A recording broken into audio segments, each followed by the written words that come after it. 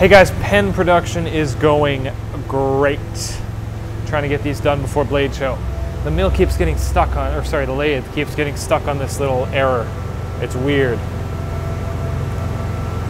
Uh, I gotta go reset, I gotta go back to edit, I gotta go up, up, up, up, up, up, up, up, up, up, and then back to memory and hit it again. So, if that worked. Um, currently, right now, we're making the tip of the pen. Coming together really good, doing full production on those. Trying to get to about 40. And uh, as you can see, they're coming along great. Going really well. So we're gonna go over here and bug Sky. Hello. What you working on? I'm just putting like a little chamfer on the tip of the thread so that it threads in more easily. Sweet. And I'm also cleaning up this round area because it, when the collet grabs it, it leaves a little mark. Yeah. All right, let's see it.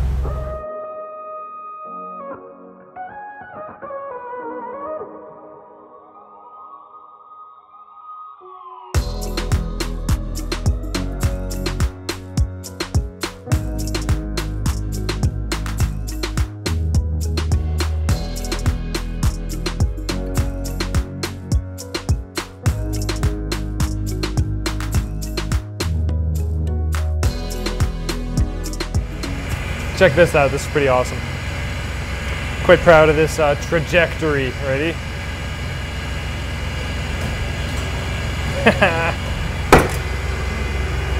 it is. It's so awesome. The way that the, uh, okay, we're good, right? We're good? The way that I've got it set up, it's got a really strong spring pressure to eject the part, so normally it's not nearly that much effort. But uh, I had to arc it, you know, I had to figure out the angle.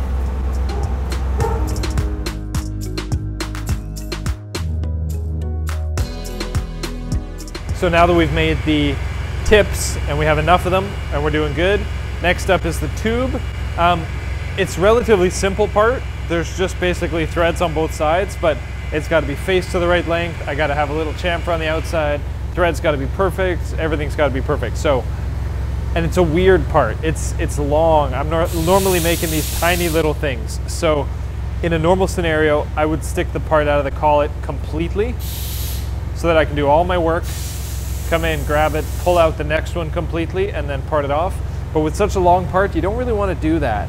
If it's sticking out of the collet that much and you're threading, it could deflect, it could bend, it could, and that's not good. So I might have to kind of cheat my normal way of doing it stick it out just a little bit, do my threading, grab it, pull it out, part it off, and to simplify things, I think we're going to manually flip it over, have a work stop in here, uh, and then do the same threading and turning on that side.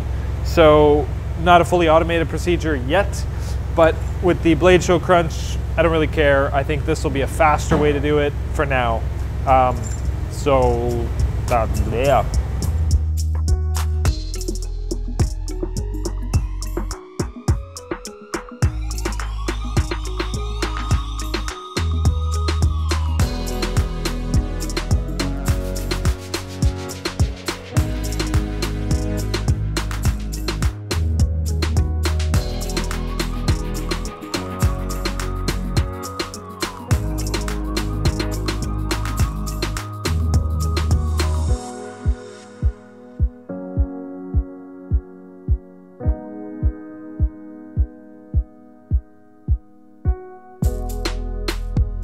So we're doing the tubes right now. We just uh, cut the threads on the first one, so I gotta check to see how our thread fit is. So I ordered uh, custom thread gauges so that we can actually have a go no gauge, no good, a go no go gauge, but they haven't come in yet. So we got to use. We we did a three wire check on all of the um, three wire on all of these ones. So we know that all these are within spec and they're actually all super consistent. So if we use this in the tubes, then we'll get a really good fit. Ooh, first try goes right in. A little too wiggly, but it does go in. Uh, we just got to tighten up that thread so it's not so wiggly. You can see the wiggle there. I just want it tighter than that. But if you go too tight, then it gets gritty and you can't get it in. So this part right here is where I'm not super sure of myself. Uh, the transfer is going to come in. It's going to pull it off, and we're going to go very gently and very slowly, step by step. Okay, that looks right. That looks right. That looks right. Everything looks right. This is basically how I do it every new time. That looks right. Okay, pull it out, yeah. Okay, it's pulling out a lot, which is good. It's a long piece. This is going to come down to 0.625. It's going to stop, yes. It's going to come in. Okay, now right here, if you notice, so the tube is extended quite a lot, you know, quite a long ways, and ideally I would have the chucks way closer together to support this tube, because while it's cut, it's while it's cutting, it's going to want to deflect, and we don't want that, but I think once I turn the coolant on, like, it should be fine. It's not really going to be a problem long term, so just try it and find out. Not going to be able to see anything through the camera once the coolant comes on in three, two, one. All right, so everything's good. I'm just going to finish up this code.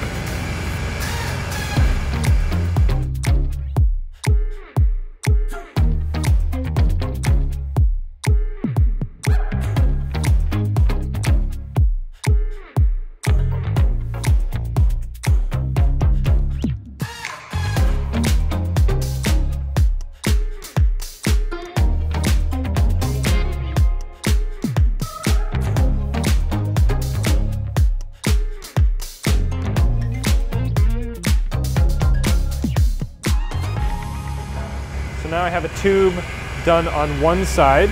Uh, I'm going to flip it over. As I was talking about here, this is going to be in the main spindle.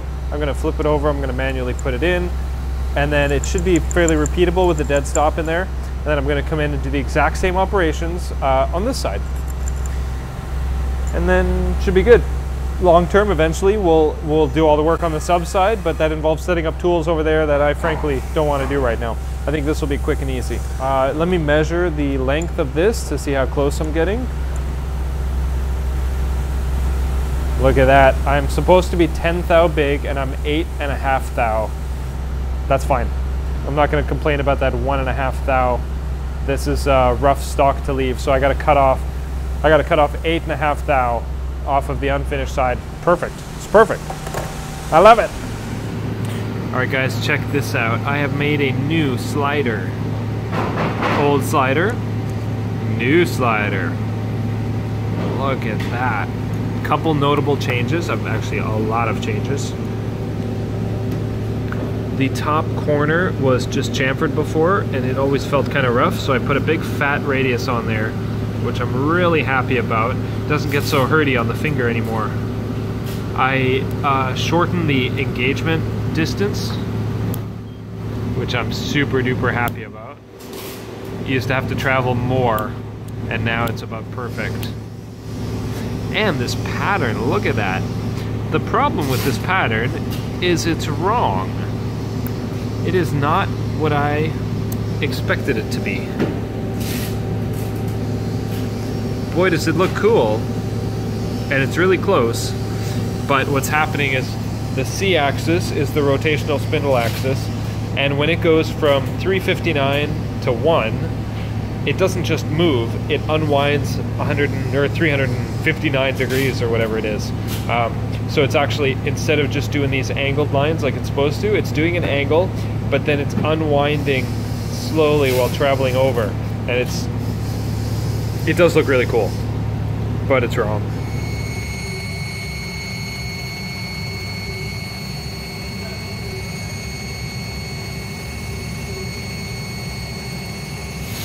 another successful test. This one. This is what I wanted. The other one's cool, but it's a little messy. This one is clean. I wanted it exactly like a Rask handle, and I think I nailed it. So it looks knurled, but it's actually milled. It's machined uh, with a ball mill.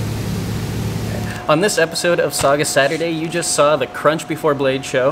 Uh, you saw making the tip of the knife, And by knife, I, I mean pen. You saw the long distance uh, parts catching in the lathe and how to, you know, set all that up. And we did the tube, the threads, and we showed the new pattern on the, the slider on the pen.